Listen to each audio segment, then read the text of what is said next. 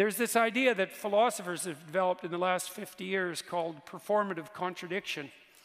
It's like a lie.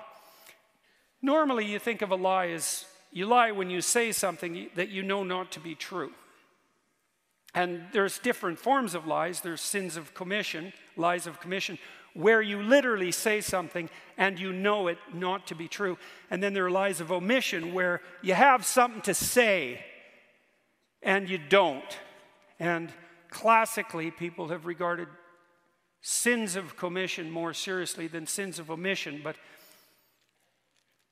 but sins of omission, they're, they're not nothing. And, you know, I've read studies that purport to demonstrate that if you ask people when they're older, you know, what they regret most in their life, it isn't the mistakes they've made, it's the opportunities that presented themselves to them that they never took, right? That's a sin of omission. I think it's an open question. You know, maybe, maybe your life would be long enough, even though it's short. Maybe your life would be long enough if you took advantage of everything that came your way.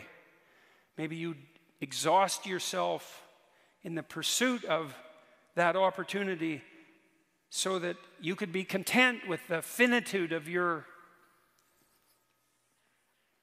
of your mortal existence if if you didn't avoid and hide hide things in the fog let's say that's rule number